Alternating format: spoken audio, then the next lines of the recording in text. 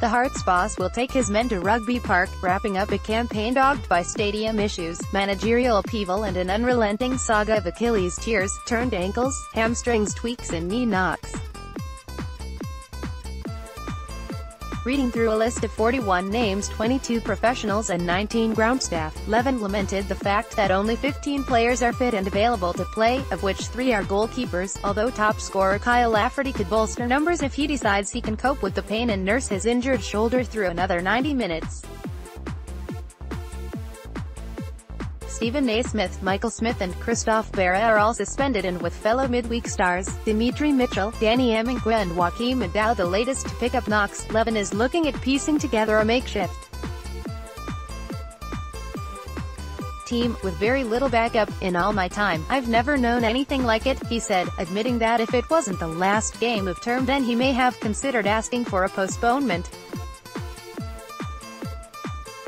He added that the only thing that could have made it worse is if they had been tussling for a European place, it would have been a disaster. I am going to ask the league if we can get back our development players to at least go on the bench. Have even looked at the younger ones in the under-17s, guys who have turned 16, like Sean Ward. He has done really well in our 20s as an under-17 but he is on an academy contract. You can't play unless you are on a professional contract. So I can't do that. He is hoping that 19-goal Lafferty will be able to feature but said it would be up to the player to decide if he can play through the pain barrier after landing heavily on his shoulder in Wednesday's win over Hibs and sustaining some ligament damage. Lafferty is aiming to be the first Hearts player since John Robertson in 1991-92 to score 20 goals in a season.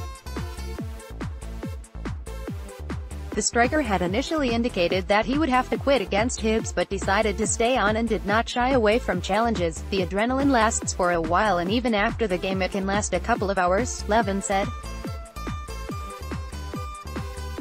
It is only when you come in the next day, even the day after, that you feel the real effects of it. He is quite sore this morning. But he is desperate to play because he is going for 20 goals.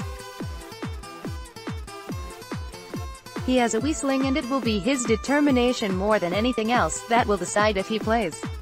I don't think he can make it worse. It will be whether he can handle the pain, but that carrot of 20 goals is something that is in his head and he wants to achieve that. Since Bravo, the highest goal scorer was Rudi Skacel on 18 so he has already surpassed that. It's quite a significant achievement. To get to 20 is a significant thing. He has scored some brilliant goals this year, he really has. The one the other night was sensational. A different type of goal but it was sensational, the way he took it. And he is a big game player. He scores in big games. I am just keeping my fingers crossed that there aren't any suitors in the summer and he is still with us.